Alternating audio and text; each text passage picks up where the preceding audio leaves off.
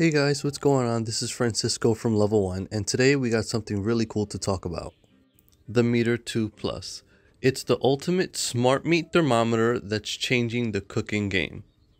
But before we begin, don't forget to hit that subscribe button and that notification so you can get the latest tech news. Alright, let's get started. And let me introduce you to the Meater 2 Plus. It's not just your smart meat thermometer, it's your kitchen sidekick. It's like having a secret weapon to achieve the perfect cook every single time. I've tested this bad boy out myself, and let me tell you, it's a game changer. The Meater 2 Plus has a battery span up to 2 years. It uses a AA battery and will give you one steak a week for 2 years. That's about 104 cooks. This device is equipped with two sensors. One sensor measures the internal environment of the meat that you're cooking, while the other one measures the ambient temperature, which is the cooking environment surrounding whatever you're cooking. This allows to have accurate and consistent results. Now connecting is really easy. Simply go to your app store and type in Meater. Once you do a search, install. Once installed, it will automatically sync from the device to your app.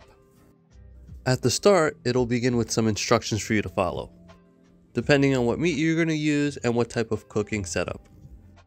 A guide on where to put the device specifically when cooking. They even add some instructions on resting your meat, which is something that's commonly missed. And when you're cooking, if you'd like a nice sear, it'll guide you on that process too. Today I'm cooking a filet mignon and I'm going to set my oven to 350 degrees. So I have two pieces of meat here and one I'm going to be using the Meater 2 Plus on. But before anything, let me make sure I season it a bit. Following the Meater app, it says to place the thermometer in the thickest portion of the meat. I need to make sure that I thoroughly place the thermometer inside the meat to allow the internal temperature and the external temperature to have their separate readings. And we're going to use the Meater app now and this is where the magic happens. So we're going to pick beef, filet mignon, and I want my medium well, which comes out to about 155 degrees internal temperature. Now once placed in the oven, the Meater app's going to start to do its magic and it starts by conducting an estimated cook time. And after a minute or two, we got my estimated cook time, which is 23 minutes. So that basically means that in 23 minutes, my meat should be at 155 degrees internal temperature. Alright, and at this point, I just walked away and played some Street Fighter.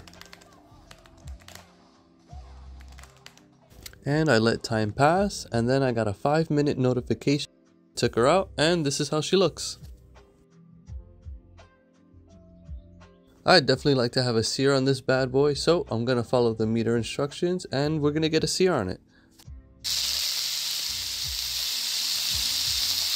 And the moment of truth, we're looking for a medium well cook.